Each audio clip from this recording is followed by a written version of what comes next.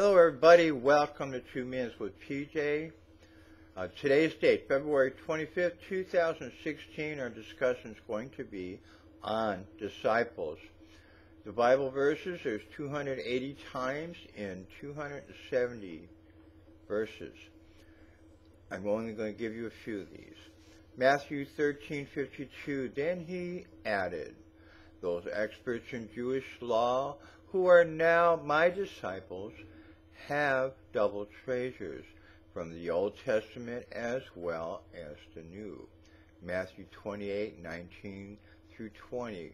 Therefore go and make disciples in all the nations, baptizing them into the name of the Father and of the Son and of the Holy Spirit, and then teach these new disciples to obey all the commands I have given you.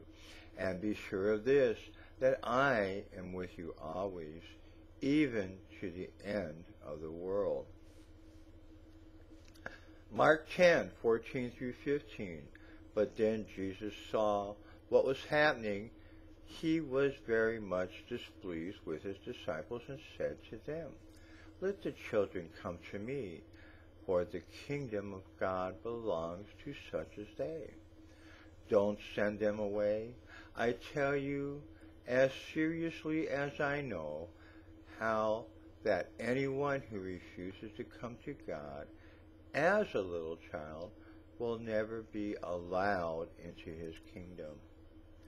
If you don't know what disciple is, it's a follower or a student of a teacher, leader, or philosopher.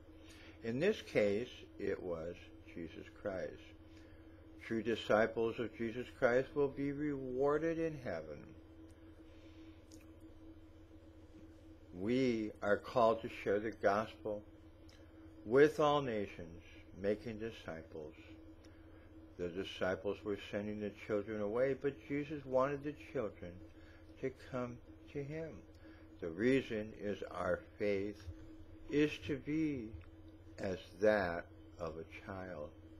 So it's important to have faith, to share the gospel with others, because faith without works is considered dead.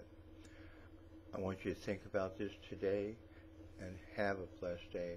God bless.